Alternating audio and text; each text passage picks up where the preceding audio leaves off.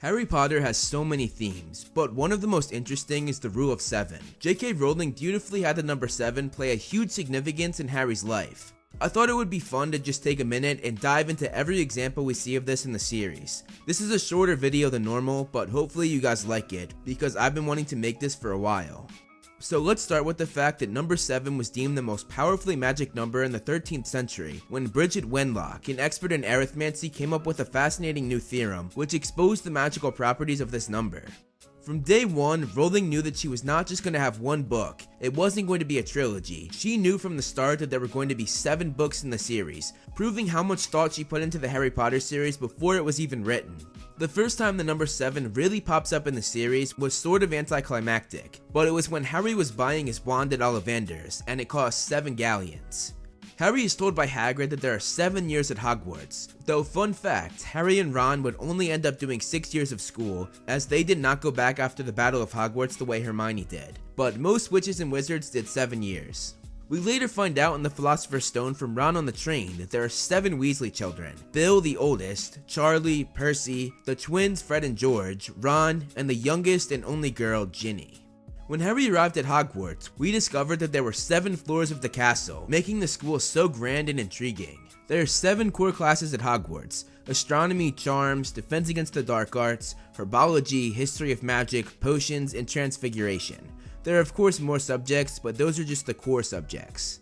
In the wizarding world, 7 is the age by which most experts agree that magic will show itself if it is present. And if you're a child born of wizarding parents and magic does not present itself by the age of 7, this is the age that you could be diagnosed as a squib.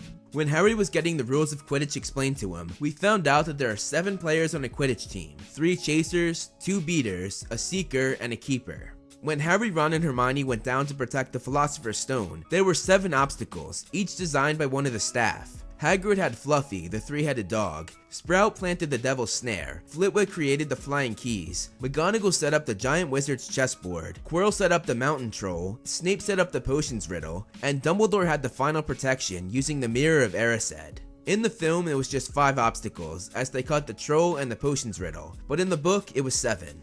Before Gryffindor won the House Cup in Harry's first year, the number 7 popped up again when it was announced that they would overtake Slytherin for the first time in 7 years. 7 Muggles saw Harry and Ron flying the Ford Anglia. You were seen by no less than seven Muggles. When Lockhart was the Defense Against the Dark Arts professor, he had his students get 7 of his books. Clearly he wanted to boost his sales. There are 7 ingredients for Polyjuice Potion, a potion that is used many times in multiple books during the series. 7 entities were attacked by the Basilisk during Harry's second year. Mrs. Norris, Colin Creevey, Justin Finch Fletchley, Nearly Headless Nick, Hermione, Penelope Clearwater who was Percy's girlfriend, and Harry while he was down in the chamber. Wolfsbane Potion. The potion that helps werewolves stay in the right mind during a full moon must be drunk every 7 days before the full moon comes, and this is what Snape made Lupin during Lupin's time at Hogwarts. When we were introduced to the Marauders map, it had 7 hidden passageways. There are 7 secret passageways out of the castle. However, Filch knew about 4, so you couldn't use those, and one was caved in and completely blocked, but there were only a select few who knew about all 7 passageways. Before Gryffindor won the Quidditch Cup in Harry's third year, Gryffindor had not won in 7 years, and Harry catching the snitch broke this losing streak, and finally gave Captain Oliver Wood a win, in unsurprisingly, his 7th year at Hogwarts. We found out from Hermione that there had only been 7 registered Animagi, which were wizards who could change from human to animal at will. There were 3 unregistered Animagi that no one knew about, but nevertheless, the Ministry only knew about 7 of them. Seven people went into the Shrieking Shack the night the truth came out about Wormtail and Padfoot. Harry, Ron, Hermione, Lupin, Sirius, Snape, and Pettigrew.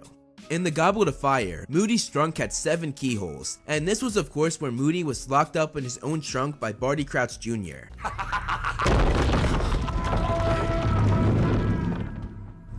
Wouldn't even bother telling you what's in there.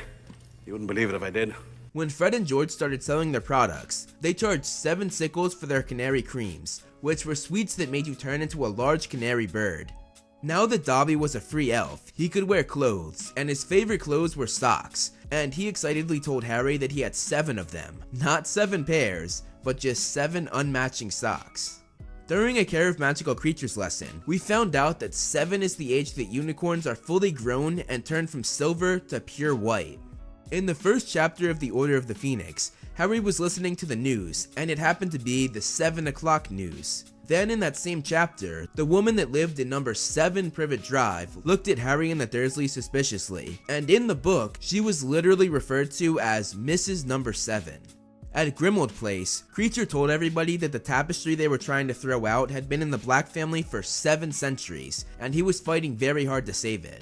When we were introduced to the Ministry of Magic, level 7 was brought up, and we found out that it housed the Department of Magical Games and Sports. During Harry's trial for using magic outside of school, the clause that ended up clearing him was Decree number 7, which stated that magic could be used before muggles in exceptional circumstances, such as being in danger. The Room of Requirement, the place where Dumbledore's army met, and later where Draco would use the Vanishing Cabinet, and before that, where Voldemort hid one of his Horcruxes, was of course on the 7th floor. Ron and Harry both passed 7 OWLs, the exams that 5th years take to decide their future classes and ultimately their careers. They each took 9 exams, both failing 2 subjects and passing 7. One of the biggest uses of the number 7 was when we finally heard the prophecy. It states that whomever it's about, they were born as the 7th month dies. This could apply to both Harry and Neville Longbottom, both of whom were born at the end of July. When Bellatrix was interrogating Snape in Spinner's End, Snape told her that he would answer any questions that she had, and she asked seven questions, all of which Snape gave sufficient answers to.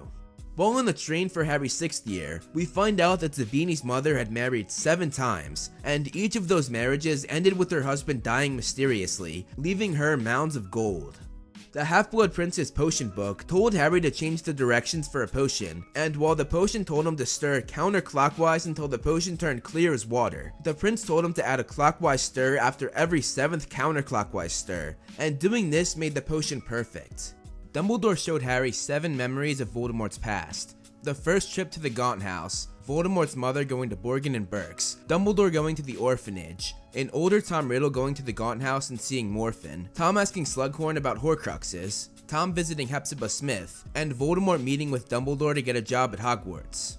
Another one of the big uses of the number 7 in the series is of course Voldemort's 7 Horcruxes. When talking to Slughorn, he asked saying that because 7 was the most powerfully magical number, wouldn't it make you stronger to have 7 Horcruxes instead of just 1? For instance, seven. Seven.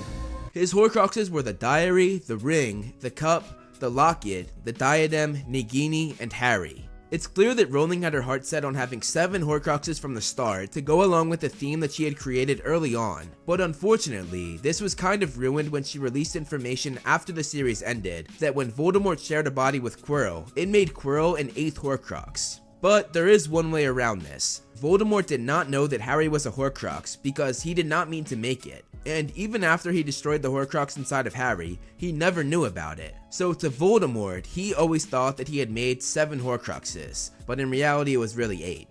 In the Deathly Hallows, when they were taking Harry from Privet Drive, they devised a plan to have seven different Harrys, as Fred, George, Ron, Hermione, Mundungus, and Fleur all took Polyjuice Potion to become Harry. The battle in the sky would later be known as the Battle of Seven Potters, and even this chapter has the number 7 in it, as it's called the Seven Potters. When doing surveillance before breaking into the Ministry of Magic, Harry watched the entrance for 7 hours the day before they went through with their plan. There are seven conflicts in the Deathly Hallows novel the Battle of Seven Potters, infiltrating the Ministry, the attack at Godric's Hollow, the ambush at the Lovegoods house, the battle at Malfoy Manor, breaking into Gringotts, and the Battle of Hogwarts.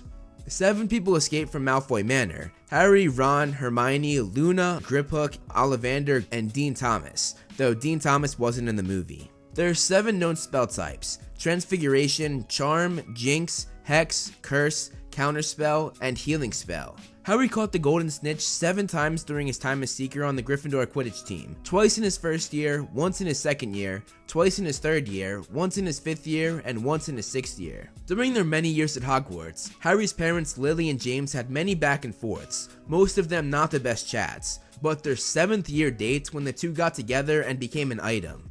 And finally, there were 7 Defense Against the Dark Arts professors hired during the series. It's clear that Rowling scattered this theme throughout the books, and it's just one example that shows how much thought she put into this amazing Harry Potter series.